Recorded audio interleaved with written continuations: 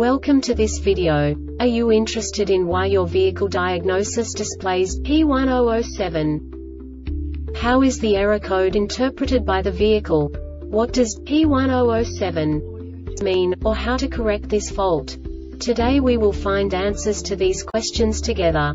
Let's do this. First, let's look at the history of diagnostic fault code composition according to the OBD2 protocol, which is unified for all automakers since 2000. We divide the electric system of automobile into the four basic units. Powertrain, body, chassis, network. This distribution is defined in the first character code. If the second character is expressed as zero, it is a standardized error. In the case of numbers 1, 2, 3 it is a more prestigious expression of the car-specific error. The third character specifies a subset of errors. The distribution shown is valid only for the standardized DTC code. Only the last two characters define the specific fault of the group.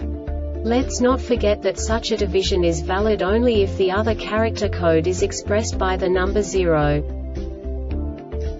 Our website airbagreset.sk produces useful videos for you. You do not have to go through the OBD2 protocol anymore to know how to troubleshoot any car breakdown. You will find all the diagnostic codes that can be diagnosed in a Audi vehicles. Also many other useful things. The following demonstration will help you look into the world of software for car control units. You unbelievably can move the video a bit further.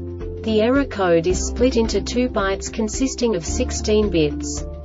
One bit is the basic unit that each computer works with. The bit has two logical states. 0, low level, 1, high level. By combining the first two bits, the basic character of the error code is expressed. The next two bits again determine the second character. The last bit styles of the first byte define the third character of the code. The second byte is composed of a combination of 8 bits. The first 4 bits determine the fourth character of the code. And the combination of the last 4 bits defines the fifth character. A single byte conceals 256 possible combinations. We now know in what way the diagnostic tool translates the received information into a more comprehensible format.